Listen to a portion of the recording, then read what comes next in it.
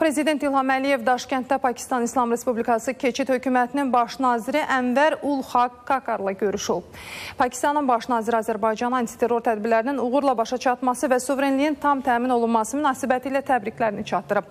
Pakistanın həmişə Azərbaycanın haqlı və ədalətli mövqeyini dəstəklədiyini vurğulayıb. Prezident İlham Əliyev Ermənistanın Azərbaycana qarşı 30 ilə yaxın davam edən işğalı dövründə eləcə də 44 günlük vətən müharibəsində Pakistanın ölkəmizə göstərdiyi siyasi diplomatik dəstəyi və Ermənistanın işğalçı dövlət kimi tanınmasını yüksək qiymətləndirib.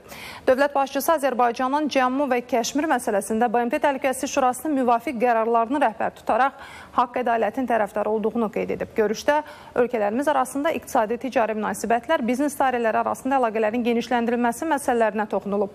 Enerji və nəqliyyat bağlantıları sayəsində əməkdaşlığa dair fikir mübadiləsi aparılıb. İki ölkə arasında beynəlxalq təşkilatlar çərçivəsində uğurlu əməkdaşlığın davam etdirilməsinin vacibliyi qeyd olunub. Söhbət zamanı dünyada islamofobiya meyllərinin artmasından narahatlıq ifadə edilib.